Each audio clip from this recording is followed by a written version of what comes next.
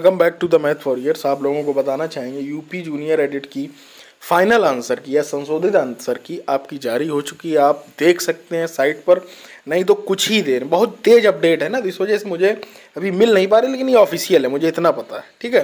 तो अभी मुश्किल से एक से दो मिनट में आपको मैं टेलीग्राम आप ज्वाइन कर लीजिए, वहाँ पर डाल दूँगा, उसके बाद एक वीडियो ये भी बना दूँगा कौन कौन से मार्क्स बढ़े क्या क्या चेंजेज हुए, उस पर आप ही लोग जो है चेक करके बताएँगे, फिर उसके बाद हम कंसल्ट करके ग्रुप में जो है उस चीज़ को समझेंगे, और उसके बाद पब्लिक कर देंगे उन चीज़ों को, कि कहाँ इन्होंने फाइनल आंसर की में क्या क्या? किया अभी आप मेन चीज़ है अपने जो फाइनल आंसर की, उसको मिलान करें, ठीक है?